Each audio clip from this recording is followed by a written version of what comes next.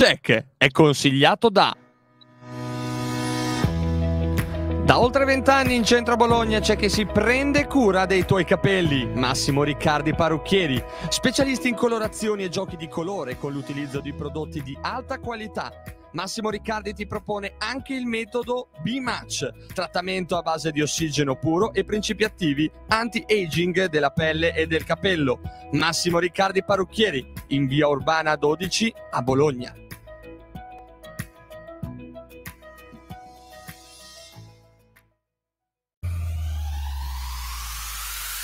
Bologna Rosso Blu e V Magazine. Tutti i mesi in edicola le riviste che vi raccontano tutto sul Bologna Football Club e sulla Virtus Pallacanestro. Eleganti in carta patinata con alcune delle migliori firme del giornalismo. Le trovi a solo 3,80 euro in tutte le edicole di Bologna e provincia. Se hai lo sport nel cuore, Bologna Rosso Blu e V Magazine.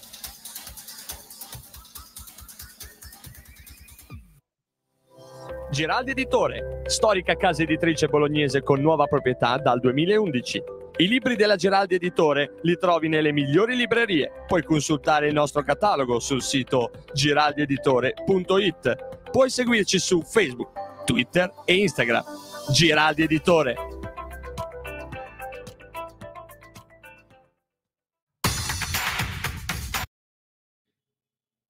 Vai Bore, ci siamo. Posso andare? Tutti si ah, così, fermati. io pensavo di entrare col tappetino No, no, perché visto musicale, che invece... stavi già parlando, allora ti ho, ti ho subito sbloccato. Io è vero che parlo tanto, ma pensare No, che no, addirittura la gente pensi che io parli quando sto zitto, siamo veramente al massimo, no? È incredibile. È come quando una donna è facile, se però non fa nulla, ugualmente si pensa che abbia fatto qualcosa. È- Esatto. È, amorale, è amorale. Allora un saluto a tutti gli amici di Radio Basket Italia e ovviamente a Luigi Balduino e Max Cocchi. Ciao ragazzi. Ciao, Ciao, Jack, ciao, buonasera a tutti. Puntata particolare che mi concederete di dedicare al mio grande amico Giancarlo Monari che ci ha lasciato quest'oggi, eh, ha 83 anni, un amico vero, eh, sapevo purtroppo che sarebbero state le sue ultime ore di vita, mi aveva avvisato il collega Bortolotti e mh, purtroppo non sbagliava e Giancarlo eh, se n'è andato dopo aver vissuto una vita meravigliosa, lasciatemelo dire, eh, tanti episodi che potrei raccontare, ma veramente tanti, divertentissimi con Giancarlo, uno dei personaggi più incredibili eh, e che ha lasciato tanti ricordi bellissimi. Oggi, se vedete sui social, veramente la sua bolognesità, il suo modo di essere è stato qualcosa che ha fatto innamorare tutti e la sua passione per lo sport, per il Bologna. Eh, una volta racconterò anche qualche episodio veramente divertente suo, eh, ma no, potrei, potrei qualche chicca me la potrei tirare fuori subito al volo di Giancarlo. Vabbè, dai, allora al volo. adesso vuoi. Giancarlo Buona, perché io ricordo che ho fatto per Rete 7 istituzionale, quello scritto sui social, Questo è quello personale. lo volete personale? Sì. Vabbè, allora, Giancarlo l'ho conosciuto nel 91, io avevo 23 anni, lui 51, abbiamo preso a uscire sempre insieme perché si stava sempre fuori di notte, due nottambuli inguaribili.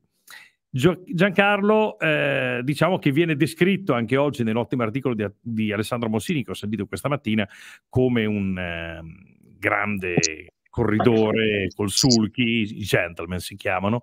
E, insomma, in realtà non è che fosse poi un fenomeno e correva discretamente, era però un ottimo giocatore di cavalli. e devo dire che non sempre i suoi arrivavano proprio al traguardo, no? E mi ha raccontato alcuni episodi, gli anni d'oro in cui era ricco. 1958 aveva già il Ferrari, Ferrari giallo, parcheggia davanti al modernissimo, va a vedere il film, all'uscita c'è la folla attorno alla macchina, lui sale, accende la macchina, ovazione di tutti, parte l'applauso e lui se ne va sgommando. Questo a 18 anni. Ai cavalli partecipa a un eh, evento eh, verso la Francia, parte Giancarlo con eh, un caro amico e altre due amiche.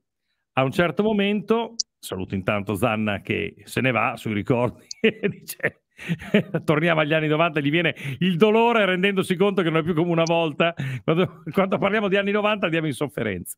Allora la scena è meravigliosa.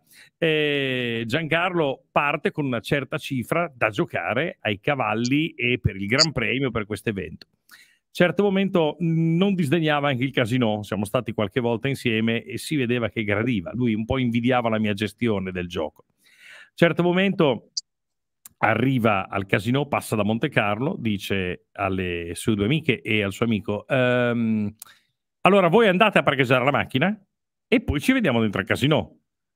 La cifra che aveva portato dietro, vi posso garantire, era molto importante. Parliamo di decine di milioni di lire in anni in cui si compravano degli appartamenti. Servivano anche per le iscrizioni, varie cose. Mentre sta andando a Monte Carlo, passa con la macchina sotto a un ponte e dice: Beh, passa, c'è il ponte, passa il treno, è ovviamente un segno di fortuna. Andiamo a Monte Carlo. Entra, gli altri vanno a parcheggiare. Monari mi racconta la scena così: banco, banco, banco, banco. Merci, merci, merci, merci. Monari arriva dalla porta, ci sono i suoi amici che entrano. Perfetto, ecco qua, abbiamo parcheggiato Giancarlo. Eh, possiamo andare? Eh, no, no, possiamo tornare a Bologna. Ho perso tutto. Questa è stata no. l'uscita di Giancarlo. Quando me l'ha raccontata, io sono impazzito. Io vi giuro, ho dei, dei, dei racconti che voi non, non potete nemmeno immaginare. Ne ho altri anche più vivaci di serate particolare. No, vabbè. no, quelli magari in privato. No, eh, cioè, guarda, non sai, non sai cosa potrei raccontarti. Ne avrei uno che è da lacrime agli occhi. E... Beh, vai. Lo posso fare? Ma sì, dai, sì, vai. Sconcio. Concedato, Va bene, allora. Una serata sono a cena con Giancarlo in uh, un ristorante dopo la partita e eh, viene a trovarmi una mia amica eh, che ha fatto le finali peraltro di Miss Italia, con una sua amica che è l'amante di un noto calciatore, eh, che ha vinto un mondiale per la cronaca. Mm. Bene, eh, succede questo. A un certo momento era l'anno in cui c'era il telefonino, il primo Vibracall. Mm.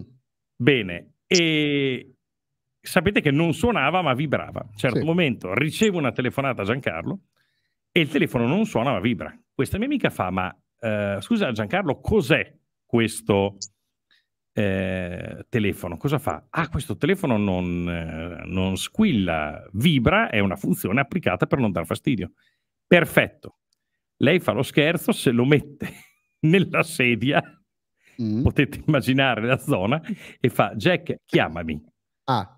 Allora, di fianco nella tavolata, finalista di Miss Italia, c'erano i mariti che sudavano e la moglie che davano i calci sotto il tavolo. Giancarlo che è partito da ridere.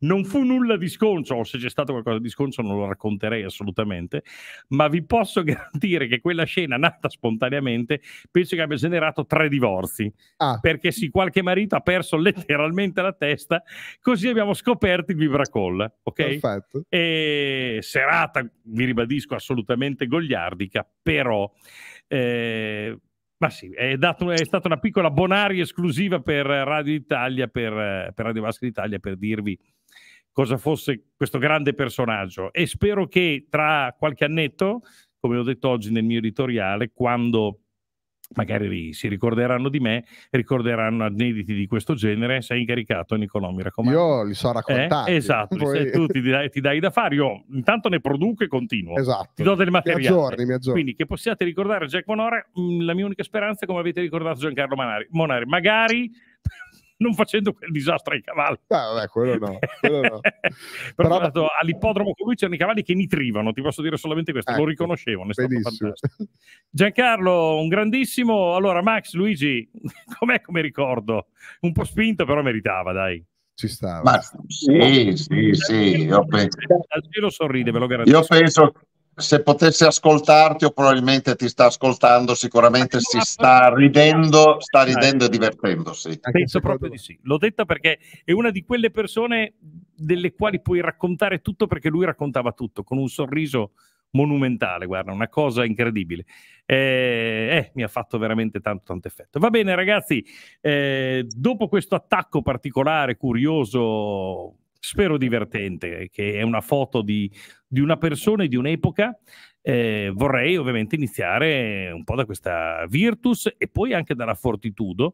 Mm, devo dire due parole perché il fallo di Cincerini, col quale peraltro mi sono scritto, eh, mm. mi ho mandato la puntata, mi ha ringraziato, ma vi posso garantire che molti non sono convinti che il fallo eh, sia stato, anzi il fallo che l'intervento involontario sia stato realmente involontario.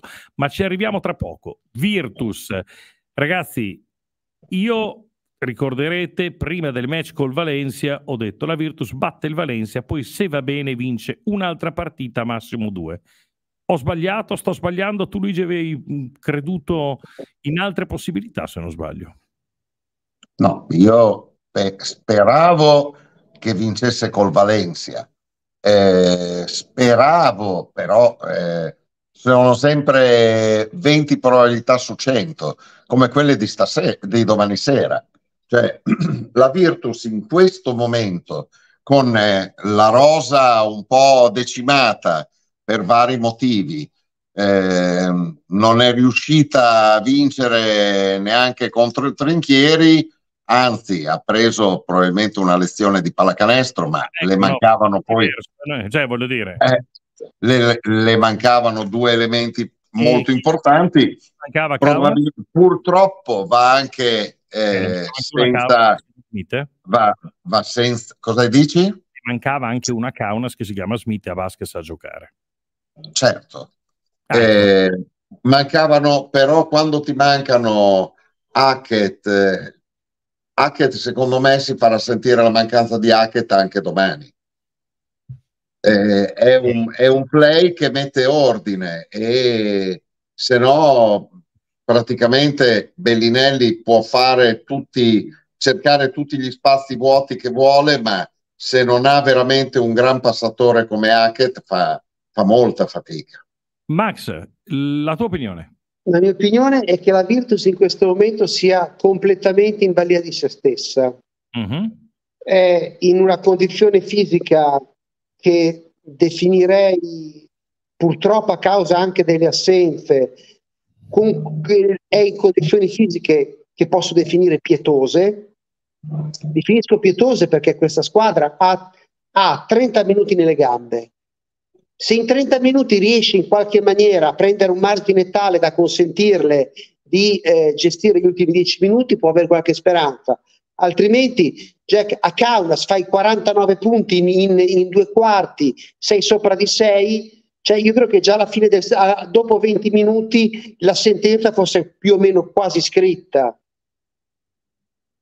La cioè? Virtus, la Virtus è in balia di se stessa, è in condizioni fisiche che sono deficitarie e in questo momento, secondo me, ha un grave rischio perché cioè, il rischio è che co- comunque con la fino che ha messo in cascina i play-in probabilmente li riuscirà a fare comunque. Ci sono qua quasi quattro partite di vantaggio con quattro partite da giocare nei confronti dell'undicesima, quindi cioè, dovrebbero chi è di dietro dovrebbe viaggiare al massimo e gioca contro squadre comunque che hanno interesse comunque a fare il risultato.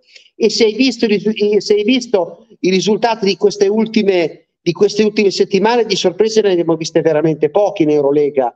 Cioè, i pronostici più o meno si sono sempre, si sono sempre realizzati, cioè, si è sempre rispettato quello che era l'ordine della classifica che, che si stava venendo a stabilire. Di sorprese ne abbiamo viste poche. E, Purtroppo chi, chi, ha fatto più sorpresa è stata la Virtus, che ha perso contro tra tante squadre che erano dietro di lei in classifica, ma perché la Virtus in questo momento eh, sta pagando il grande sforzo fatto prima. Prima o okay. poi doveva succedere. Io non mi sento di colpare nessuno. Verissimo, però facciamo anche un ragionamento pratico. Andiamo a vedere anche le partite che rimangono. L'ultima è con Basconia, che è una di quelle partite che dici va vinta. Sì, però Basconia sta giocando per non solo un sì. discorso di playoff o di play-in, ma conta anche la posizione, perché settimo, ottavo hai due possibilità per accedere alla fase successiva. Nono e decimo hai una possibilità sola. Quindi Basconia sì, sì. a Bologna a giocare alla morte eh? e anche Milano, che è andata a vincere a Monaco, grande svantaggio per la Virtus. Sarebbe stata una bella notizia due mesi fa, ma adesso è una beffa per come si metterà la classifica.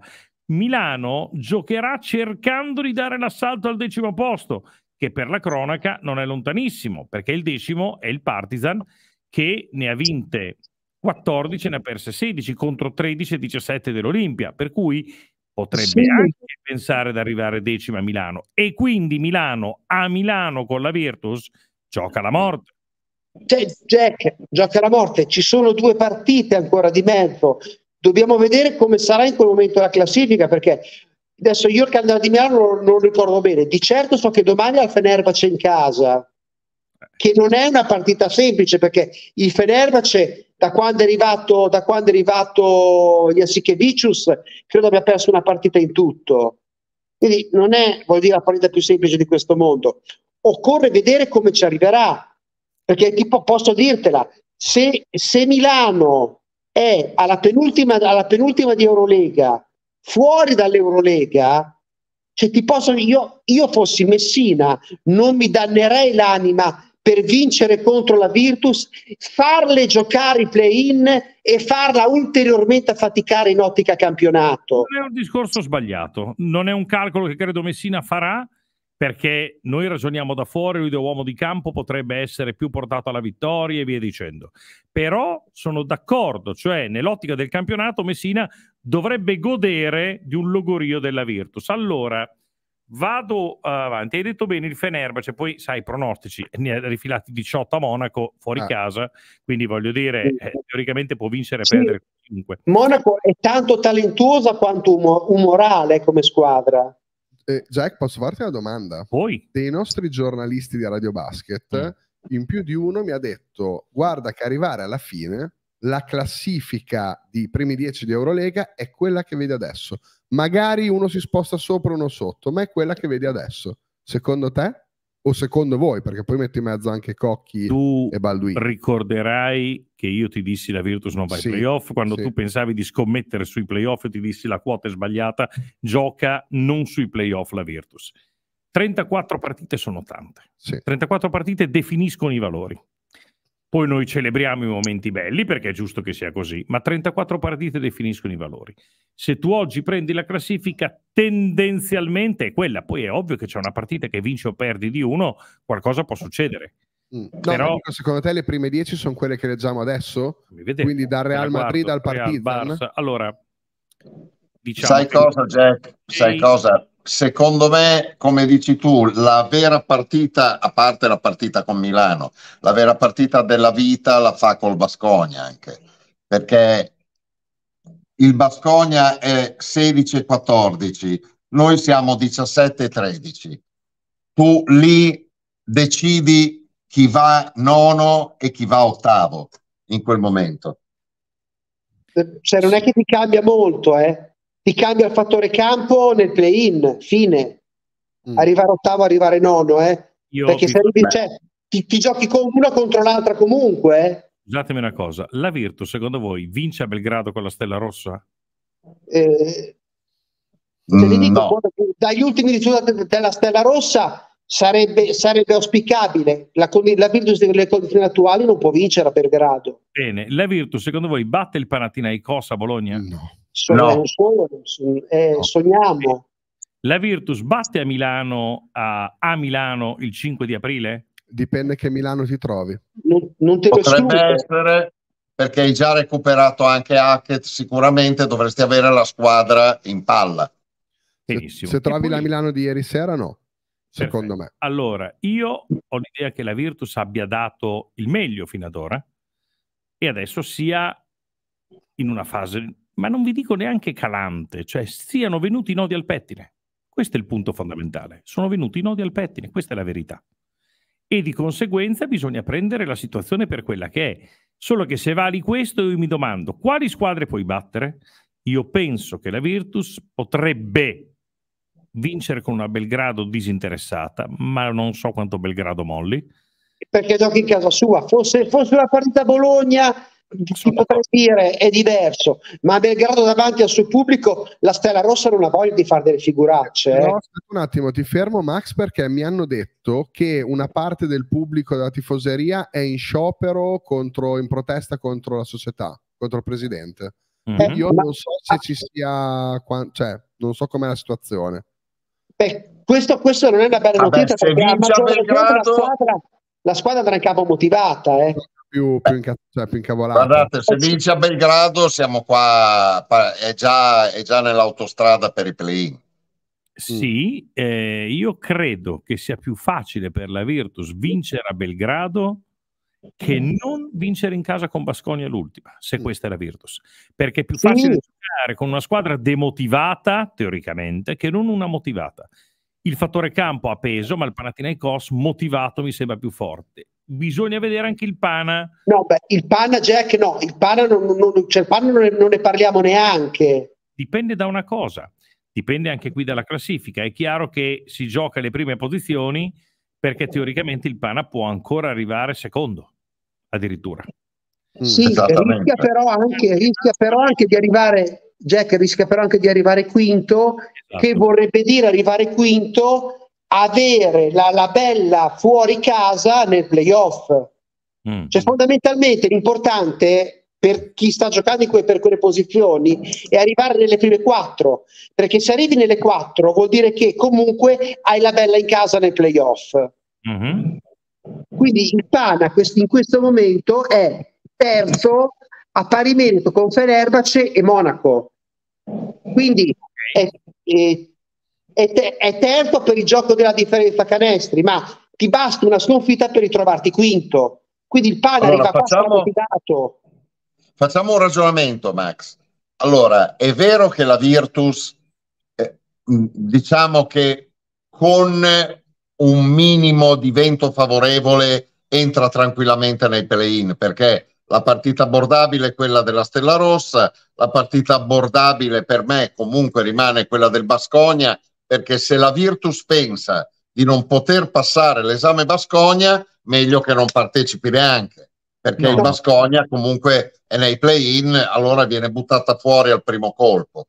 Poi c'è da dire che con Milano, con Milano potrebbe, potrebbe farcela perché, come dice Max, Milano tanto non dovrebbe riuscire, ad, dico non dovrebbe, riuscire ad entrare nei play-in. A questo punto la Virtus potrebbe arrivare di misura nei play-in o addirittura recuperare sull'Olympiakos ed entrare nei playoff. Per un caso No, di lascia perdere, fortuna, no, no, no, no. Lascia perdere le prime sei, Luigi, per cortesia, no. Cioè, se parlare di prime sei, guarda, no. ascolta, l'Olympiakos è 18-12, la Virtus è 17-13. Cioè, Se cioè, la Virtus, se- se la se Virtus, se ascoltami, se la Virtus infila la partita di Belgrado Mhm. e infila la partita col recuperato Hackett, la partita col Basconia e con Milano, è nei playoff. Sì, e, e io stasera esco con Belen, con Belen Rodriguez. No, no, Sì. tu non Non puoi, hai il eh? Covid, Sì. Tu hai il Appunto, Covid. stai lì, basta. Però Luigi, ehm, il eh, Banchi, la lettura su Dusko Ivanovic pare averla fatta bene perché quest'anno l'ha già battuto due volte. Una volta che allenava lo Stella Rossa a inizio stagione un'altra volta con il Basconia. Quindi in linea di Eh. massima Era un'altra Virtus. Chiedo Scusa, Sicuro. un'altra cosa che vi deve interessare, piccolo particolare, Sì. la differenza canestri. sì. Ok, la Virtus ha una differenza canestri sfavorevole con l'Olympiacos. Quindi voi vedete sempre due punti, ma ricordatevi che sono in realtà sempre di più. Ha, ha una differenza canestri negativa con il Maccabi di Tel Aviv, ce l'ha positiva con Monaco, la negativa col Fenerbahce. Vedremo come va col Panama, siamo già oltre. Quindi io credo che non ha senso in questo momento, momento preoccuparsi del playoff. Infatti, L'obiettivo della Virtus oggi, l'obiettivo minimo, oggi, l'obiettivo minimo è arrivare nei play-in. L'obiettivo massimo è arrivare in settima o in ottava posizione. Mm. Questo bisogna dire oggi. Sì. Oggi. cioè, oggi Due mesi fa, tre mesi fa ti dicevo l'obiettivo sono i playoff. Oggi ti dico è diverso. Ma Sì. io, io, scusate, ma io vi faccio una domanda perché a me a questo punto c'è un dubbio, una, una cosa sorge. Io sono convinto che alla fine comunque col margine che ha la Virtus e ripeto, con il fatto che le altre comunque per poterla passare, chi le sta dietro dovrebbe sempre vincere, e ci sono scontri diretti per cui comunque non tutte possono venirti avanti e sopravanzarti. Quindi alla fine in un modo o nell'altro la Virtus magari da decima nei play-in ci entra. Ma mm-hmm. la mhm. domanda è, cioè, facciamo i play-in, questa squadra fa giocare altre tre partite di play-in, quindi si, per altre due settimane si spreme. Mm. Ora, per, per, cioè, la, andiamo a giocare dei play-in e per andarli a fare andiamo a giocarci quelle che sono invece delle concrete possibilità in campionato di andarla a vincere. Perché se tu vai a giocare i play-in, eh, se non io la... niente. A te non frega niente. Eh, eh, vorrà dire che Milano vincerà lo scudetto. E che c'è frega? Ma, e tu direi che beh, ti direi che sei andato fuori giocando per, contro l'ottava di Eurolega. Certo. Sei contento di questo? Certo. Io se ho l'opportunità di andare avanti in Eurolega, alla mia seconda stagione di Eurolega, faccio il play-in e perché gli altri sono più forti, perché sono cotto, perché Zidic non mi convince, per mille motivi, mh, vado fuori, io ho giocato i play-in di Eurolega. Gli altri che hanno speso ben di più non li hanno giocati, vincono lo scudetto e che festeggino. Sai cosa se ne fanno degli scudetti a Milano adesso? Niente. Perché Messina non è, non è, considerato a Milano l'allenatore che ha vinto gli ultimi due scudetti e osannato, è considerato quello che da anni fallisce in Eurolega. Questa è la verità. Sì, con lo scudetto a Milano è il nulla. Si vuole una squadra competitiva in Eurolega perché ormai, e tu ne hai piena coscienza, quando partecipi all'Eurolega ti può interessare la finale scudetto Già se ti becchi un quarto con Tortona, faccio una squadra a casaccio, vanno in, in 5.006 perché la gente interessa l'Eurolega. Perché finché non la fai, il campionato ha un valore. 2021 tutti abbiamo festeggiato lo scudetto. Festeggeremo lo scudetto anche adesso, è ovvio.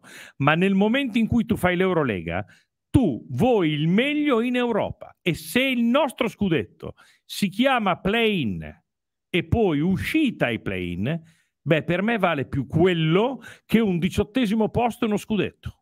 E più che altro, Jack, c'è un, diversi discorsi tra il discorso di eh, poi un rinnovo di licenza con Eurolega dicendo sono arrivato alla post season. Eh, insomma, aiuta. Il rinnovo, lasciamo stare, ve l'hanno già detto in tanti, il rinnovo in Eurolega, cioè non è quanto arriverà la Virtus che, che, che determina il rinnovo in Eurolega. Allora, cioè, e se allora parliamo di rinnovo dell'Eurolega, se ne parlava anche, facciamo il bel impianto per il rinnovo dell'Eurolega. Ora, l'impianto nuovo che verrà fatto alla Virtus, scusatemi, è una cosa orripilante, dice un cubo di cemento dentro mm. al quale verranno messe delle poltrone removibili di tubolari mm. dove non possono fare marketing, dove non potranno fare niente. Un impianto che alla Virtus renderà zero se non il costo dei biglietti che faranno pagare per, per entrare. Questo, non conveniva tenere questo a quel punto. Eh? Non conveniva tenere questo a quel punto. Non so i costi di affitto di tutto. Ma di, no, perché per, è più, è più per, al, al, si vede che al comune conviene di più fare un cubo di cemento dove lo fanno, in, dove, dove, verrà fatto, che tenersi quel cubo di cemento dove sono ora. E ogni tanto qualcosa che interessa di più non al comune ma a chi mette i soldi? Assolutamente no. Assolutamente no. La sape- cioè, a Bologna no. A Bologna no. A meno, che, a meno che, voglio dire, a meno che non ti chiami Farinetti e allora a quel punto lì magari qualche porta si apre in più, però evidentemente se fai altri, mh, mm, cioè quelli che sono le tue esigenze non ci sono. La Virtus si, ritrova un, si ritroverà un impianto che dovrà condividere con delle fiere mm. in, cui, in, cui, non potrà fare uno straccio di palchetto di skybox che sono quelli che ti fanno, ti portano più denaro, in cui non potrà fare attività settimanali, in cui non potrà fare un museo permanente. Eh, ricordo che la Virtus ha un museo permanente che praticamente è pieno di ragnatele al, al, all'Unipolarena, al, non, non so neanche come si chiama ora eh, all'impianto di Casalecchio, però c'è ancora il Museo della Virtus là, te lo ricordo, ci sono ancora dei cimeli che non so che fine abbiano fatto, mm. però ci ha pagato un mutuo di 450 mila euro sopra, mm, sopra quella cosa lì. Quindi non ti potrai fare un museo dove portarci la gente,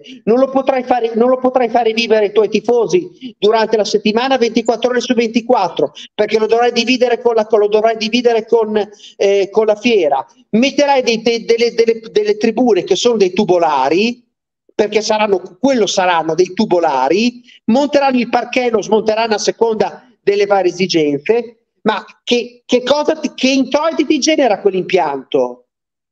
Va bene, prendo atto di quello che dici, non è il mio settore, ma ascolto con attenzione ciò che affermi. Abbiamo dei messaggi al volo? Sì. Leggiamoli eh, velocemente. Allora, abbiamo Marco Rimondi dice grande Jack. Eh, peraltro non ti ho detto una cosa, mm. che su Radio Basket, con le tue dichiarazioni tra virgolette pro Scariolo hai creato un paglione da stamattina che ci dicono ah Jack Bonora ha detto che allora Scariolo aveva ragione Guarda, anche prima VSM. Intanto mi fa piacere hai che mi ascoltino, che è la cosa hai principale. Cre... Sì, no. no, ma hai creato un delirio. Allora, voglio essere molto chiaro. A fronte di quello che stiamo vedendo ora, io credo che qualche dubbio di Scariolo fosse considera- da considerarsi legittimo. Cosa vuole dire? Che Scariolo aveva dei dubbi, cioè, stiamo parlando dei più quotati allenatori d'Europa, che per me in Virtus ha lavorato da 6.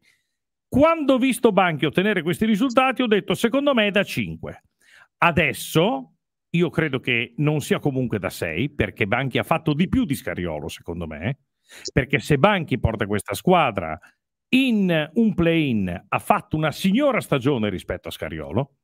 Però i dubbi di Scariolo, che non vuol dire che io avrei tenuto Scariolo, che io vorrei Scariolo adesso sulla panchina della Virtus, ma i dubbi di Scariolo si rivelano oggettivamente più legittimi perché tutti quelli che hanno overperformato prima adesso stanno un po' facendo fatica. Se poi mi si dice Banchi ha recuperato Lundberg, Belinelli che era stato definito uno che poteva aiutare è diventato uno dei migliori giocatori d'Europa, benissimo però anche nella seconda parte di stagione con Scariolo. Se Miche che ha giocato bene solo i playoff e malissimo la regular season con Scariolo ha fatto sicuramente meglio con Banchi, beh allora io vi dico per me Banchi meglio di Scariolo.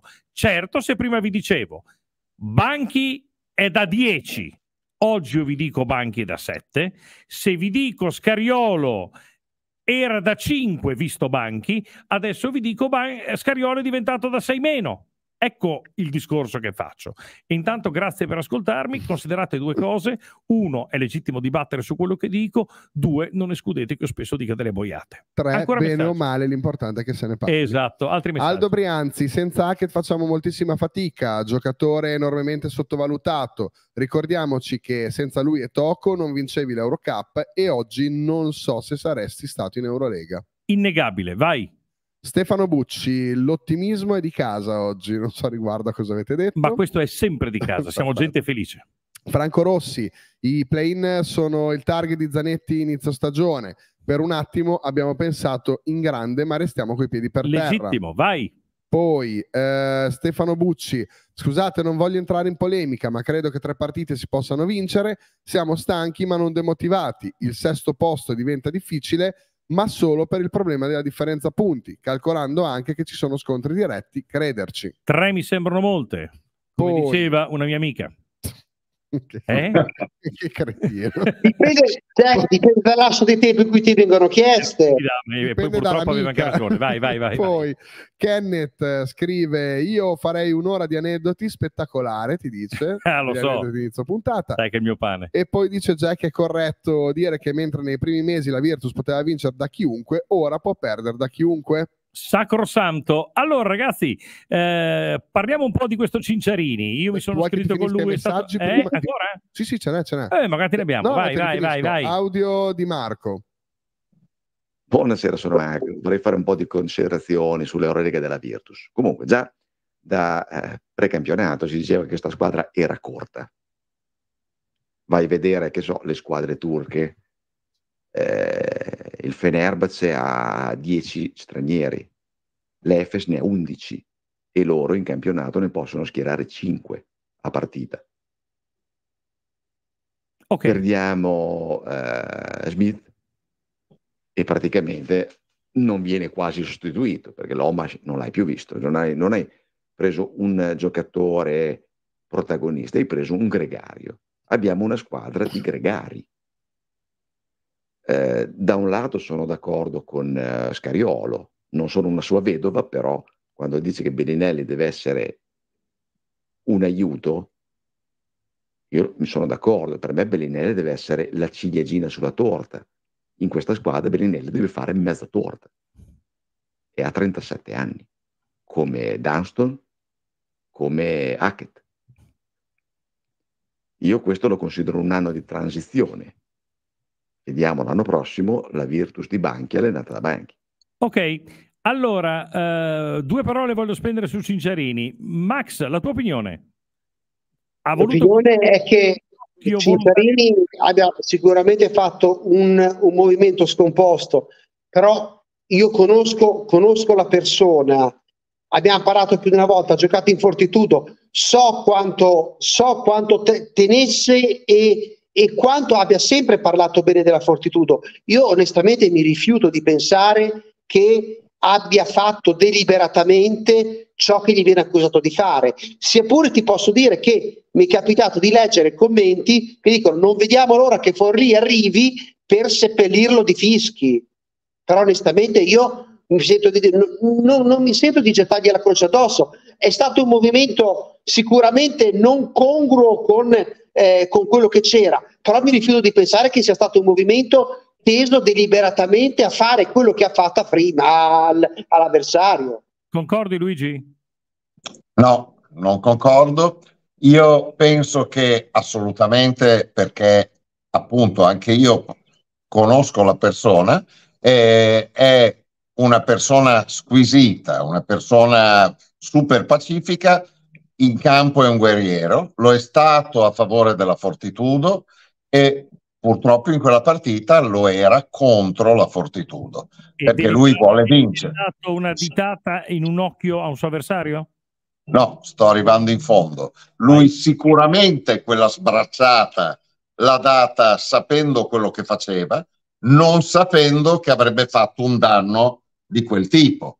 Allora, quelle sono le sbracciate, come dire, perché lui soffriva molto, Freeman, Freeman stava giocando benissimo in quel momento, e lui gli ha voluto dire con un colpo in faccia stammi lontano, ma non voleva probabilmente, queste sono congetture, okay. vo- però l'ha, l'ha, fatto più volte questo movimento e più volte ha preso anche antisportivo. Quindi okay. sia con Forlì che precedentemente con la Fortitudo. Qua non possiamo vedere dei filmati, ma se no io in questa mandato. settimana... Me l'hanno mandato, questa... me l'hanno mandato. Esatto, te l'hanno mandato. Sì. Allora, eh, sicuramente non voleva fare quel danno lì, però visto che poi alla fine non è che è rimasto cieco, alla fine è andata bene, l'ha tolto fuori, l'ha messo fuori uso per una partita, lui non essendoci l'instant replay non si è preso l'antisportivo che probabilmente otto arbitri su dieci gli avrebbero dato, sì. visto che in altre occasioni per il medesimo movimento l'hanno dato, sì. quindi quindi è finita così, però... No, no, sai cos'è? Sono affascinato dal pensare che lui abbia organizzato tutto questo a 41 anni durante una penetrazione a canestro. Se è così capace, mettiamola a risolvere il conflitto tra Putin e Zelensky. Perché se è così stratega, abbiamo il novello Metternich, beh, cosa, chi mandiamo a trattare con Putin sì.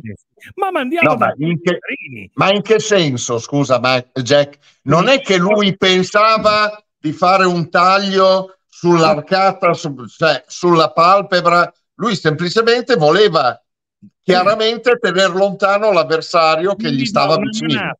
In viso, non volendo colpire in un occhio, ma una manata che sia sufficiente per metterlo fuori gioco. Ma no, lui voleva dare una manata, basta. Quindi una in faccia per dire Stammi lontano. Per dire stai lontano. Ah, e Freeman ti sembra uno che si spaventa quando Cincerini gli dà un colpetto. Beh, insomma, beh, guarda, questa è la regola di guardando, tutti i giocatori. Guardando la stazza fisica dei due, fatica a pensare che Freeman si intimorisse, cioè, soprattutto da una bracciata una sbracciata a Cincerini. Ma cioè, comunque, ti dico, questa è la regola di tutti gli allenatori slavi.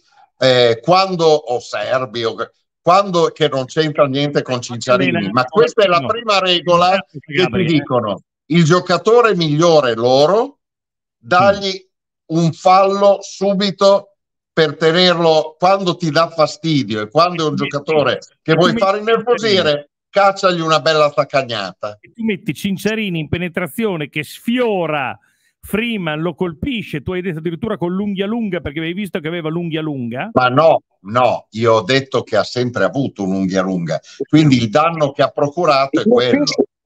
Questo è un retroscena. Il mignolo lungo. È un retroscena questo.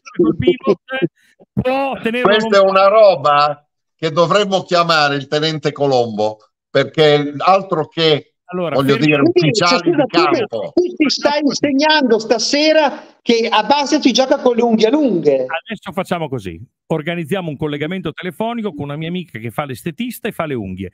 Almeno questo è quello che ho detto. Non, non, so se poi eh, estenda il confine. E chiedi, chiedi alla tua amica se non ci sono persone che le arrotano anche, mm. che diventano come rasoi. Eh, sì. Bene. Non allora. so, Buttagliela allora, giù diversamente, Jack, vedi tu come buttargliela giù la faccenda. No, non gliela butto giù. Io dico solo che avremo presto un collegamento con un estetista ci, che ci racconterà tutta la verità sullo scontro Cinciarini-Freeman. È tutto per quanto riguarda Tristi Jack. Alla prossima settimana. Ciao a tutti. Ciao.